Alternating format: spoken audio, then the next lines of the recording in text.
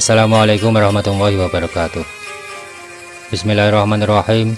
Alhamdulillahirrabbilalamin Allahumma sholli wa sallim ala sayyidina Muhammadin wa ali sayyidina Muhammad. Bagaimana kabar anda hari ini? Semoga selalu dalam lindungan Allah subhanahu wa ta'ala.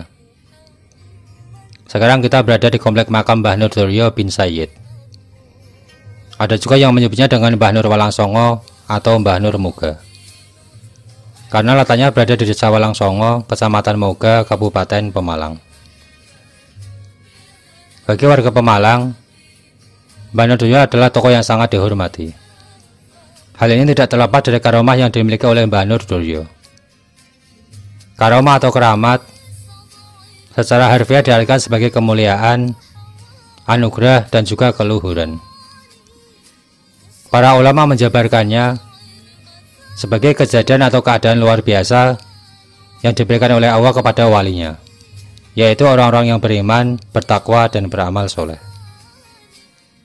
Banyak karomah yang dimiliki oleh Mbah Nur Suryo, dan menjadi pengalaman spiritual bagi beberapa orang yang merasakan atau mengalami karomah tersebut. Sebelum berbagi cerita tentang kisah karomah Mbah Nur Suryo, kita akan sedikit mengisahkan tentang perjalanan hidup Mbah Nur Suryo sehingga bisa mendapatkan karomah yang luar biasa. Dikisahkan, Mbah Nur adalah putra dari Mbah Sayyid. Beliau lahir pada hari Jumat tahun 1873 Masehi. Mbah Nur adalah sosok yang penuh semangat dalam belajar, giat beribadah, dan hidup sederhana. Beliau juga dikenal haus mencari ilmu kepada guru-guru yang memiliki ketersambungan sanat keilmuan hingga Rasulullah. Rasa ingin tahu yang besar menjadikan Mbah Nur memiliki banyak guru. Beberapa guru beliau adalah Kiai Muslim Bendo Kerap Cirebon, Kiai Dahlan Purbalingga, dan Kiai Said bin Syekh Armia Giren Talang Tegal. Nyantri sebagai proses belajar dan mengamalkan ilmu menjadikan Mbah Nur sebagai pribadi yang memiliki dasar spiritualitas yang tinggi dan dalam tradisi Islam disebut sebagai sufi. Spiritualitas Mbah Nur sangat nyata. Sholat berjamaah tidak pernah beliau tinggalkan. Kebersahajan hidup tercermin dari tempat tinggal beliau yang sangat sederhana di pinggir sungai. Sejak kecil, Mbah Nur sudah diajarkan oleh orang tua beliau untuk selalu sholat berjamaah dan menjaga wudhunya. Mbah Nur wafat pada tanggal 9 Jumadil Awal tahun 1409 Hijriah atau pada tanggal 17 Desember tahun 1988 Masehi. Dan sempat tinggal Mbah Nur, tempat tinggal yang sekaligus merupakan lokasi makam beliau, selalu ramai dikunjungi oleh para peziarah.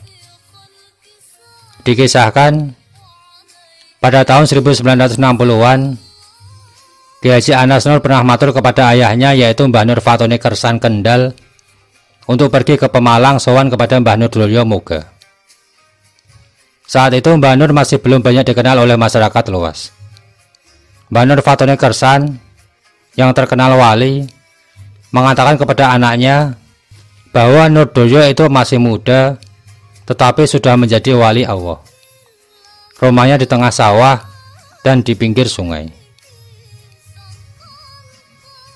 Dikisahkan pada tahun 2011 Kiai Abdul Muid Merangkin Demak Salah satu santri Mbah Nur Doryo ketika itu sedang berziarah bersama rombongan. Setelah selesai berziarah, ketika beliau hendak pulang, mendadak mobilnya mogok. Padahal sebelumnya tidak terjadi apa-apa. Perbaikan dilakukan mulai dari jam 9 malam sampai jam 1 dini hari. Tetapi mobil tidak mau menyala. Sehingga akhirnya Kiai Haji Abdul Muid memutuskan untuk bermalam di makam Mbah Nur Duryo. Dan di pagi harinya, mobil dicoba lagi untuk dinyalakan. Dan anehnya, mobil bisa menyala.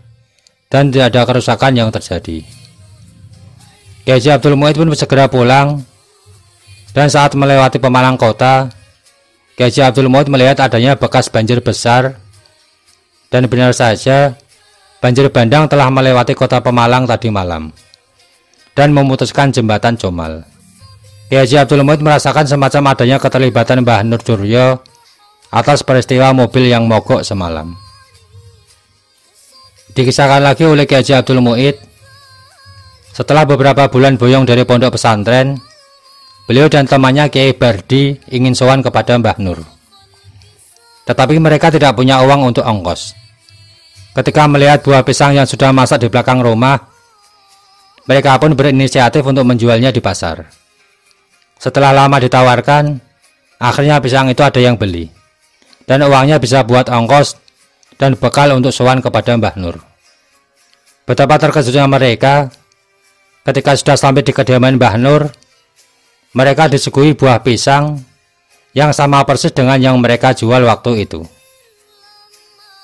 Dikisahkan lagi, ketika Mbah Nur pergi ke benda kerap Cirebon untuk mengasih kepada Kiai Kaukap, Mbah Nur ditemani oleh menantunya Kiai Mustafa.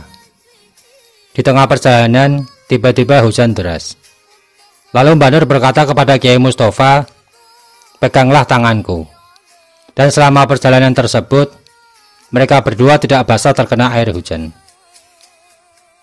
Kisah lain terjadi pada Nyai Nurmi, salah seorang istri Mbah Nur, saat hendak pergi berhaji.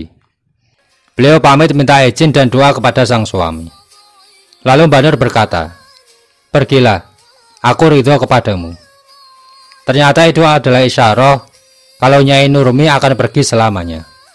Dan benar saja, Nyai Nurmi meninggal di Mekah Al-Mukarramah.